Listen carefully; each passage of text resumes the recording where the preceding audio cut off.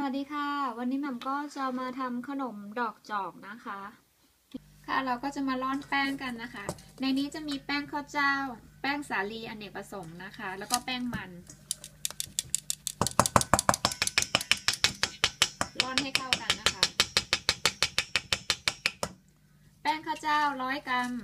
แป้งมันร้อยกรัม แป้งสาลีห้าสิบกรัมนะคะ เส ร็จปุ๊บก็ นี่ค่ะ น้ำตาลนะ ใส่ไป แล้วก็ ใส่น้ำนะคะ นี่เป็นน้ำปูนใสนะคะ ใส่ไปเดี๋ยวแมมจะบอกสัดส่วนอีกทีนะคะใส่น้ำปูนใสไปนะคะ แล้วก็ใส่กะทินะคะ ใส่กะทิลงไปด้วยค่ะ เพิ่มความมันนะคะ เสร็จก็นี่ค่ะ ไข่ไก่นะคะหนึ่งฟองค่ะใส่ไป แล้วก็เดี๋ยวจะคนส่วนผสมทั้งหมดนี้ให้เข้ากันนะคะ ค่ะแล้วก็ใส่เกลือไปนะคะหนึ่งช้อนชา เกลือประมาณหนึ่งช้อนชานะคะค่ะก็ ผสมกันให้เข้ากันดีแบบนี้นะคะ แล้วก็เดี๋ยวเราก็จะมาใส่งานะคะ ใส่งาดำแล้วก็ใส่งาขาวนะคะ อันนี้ตามชอบนะคะ ชอบมากชอบน้อยก็ใส่ไปเลยโอเคเรียบร้อยแล้วค่ะ เดี๋ยวเราก็จะไปทอดกันนะคะ ทอดไฟอ่อนกัน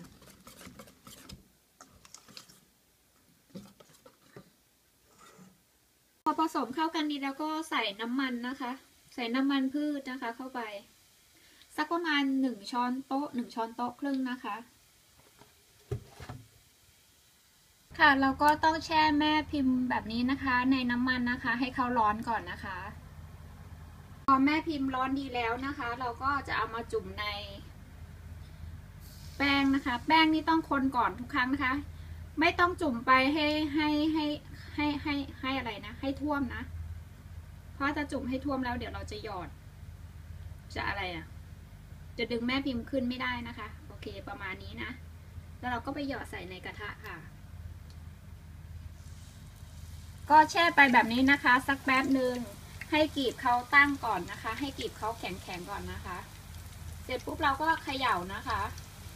เขย่าแล้วเดี๋ยวเขาก็จะหลุดจากแม่พิมพ์นะคะ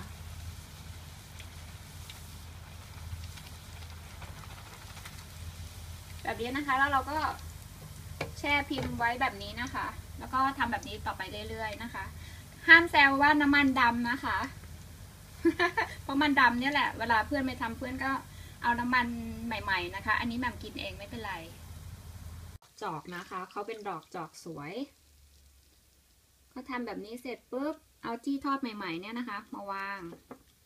ก็ตะเกียบเนี่ย มือมันจะร้อนหน่อยนะไม่ถนัด ก็วางไปแบบนี้นะคะ กดกดกรีบเข้าไปแบบนี้ เขาก็เขาก็จะอยู่ทรงแล้วก็บานๆนะคะ เป็นขนมดอกจอกให้เราอย่างนี้นะคะ ค่ะขนมดอกจอกของแหม่มก็เสร็จเรียบร้อยแล้วนะคะ แบบนี้นะคะ เราก็จะไปเก็บใส่กล่องหรือว่าใส่ถุงอะไรก็แล้วแต่ที่ไม่ให้ลมเข้านะคะเขาก็จะได้กรอบนานๆนะคะ ก็แบบนี้นะคะ กรอบ